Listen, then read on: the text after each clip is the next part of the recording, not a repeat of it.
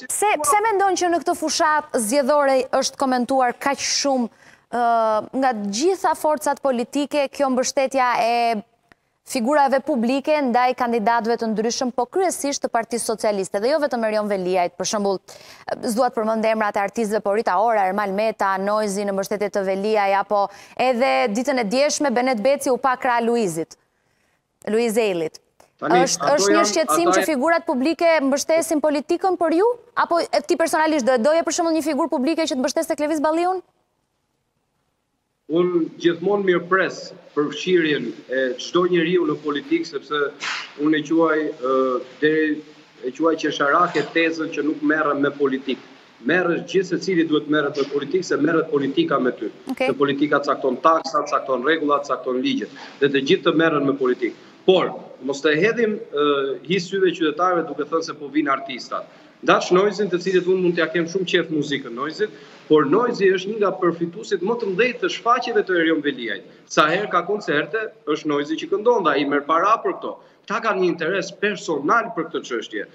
Në këtë kontekst, ata nuk duhet ta shikojnë këtë si një çështje personale. Mirë, Klevis, edhe edhe në 2000, edhe në 2013-ën ka pasur shumë artistë që këndonin për Partinë Demokratike dhe krah Partisë Demokratike, po jo çdokush e bën për po për përfitime personale. Nga 2005-a deri në 2013-ën, po. e nderuar, Çiljeta, Soni Malaj ka kënduar me ju, ai grupi nga Tetova, Elita 5, pra ka pasur shumë. Po po po. Po, po një sekondë. Kush i organizonte koncertet në Tiranë? Nuk bënte koncerte Partia Demokratike, bashkinë e kishte Edi Rama. Ata ishin artistë që erdhën për qejfin e tyre dhe me bindje, që ishin me bindje të djathta. Po, Tani, pse të bën të mos besosh që dhe në këtë rast Por ti, po sepse kanë përfitime direkte, ato janë zyrtare, janë bërë koncertet me... Po tani, po Rita Ora është yll ndërkombëtar, Klevis, si mundet Rita Ora të ketë një interes personal me jo, Veliajn? Rita Ora e ka sjellë dhe Berisha në shesh për njëqindvjetor. Më fal një sekondë, më fal një sekondë, më fal një sekondë. Sa ia ka haberin Rita Ora se si jetojnë shqiptarët, a mund të pyesim, unë po flas për këta artistë këtu, por Rita, Rita Ora është një artiste paguhet, ajo vjen të këndojë edhe për Lali Erin dhe për kë të doni ju.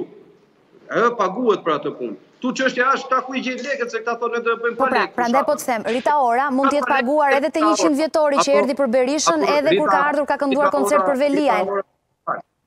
Apo Rita Ora u mallëngjye dhe e pa një të një qytet kaq të bukur të jashtëzakonshëm që ka ndërtuar Erion Veliaj sa iu duk e shëmtuar Londra që rri dhe jeton atje. Tani s'e di dhe që jeton atje. Po, u magjeps.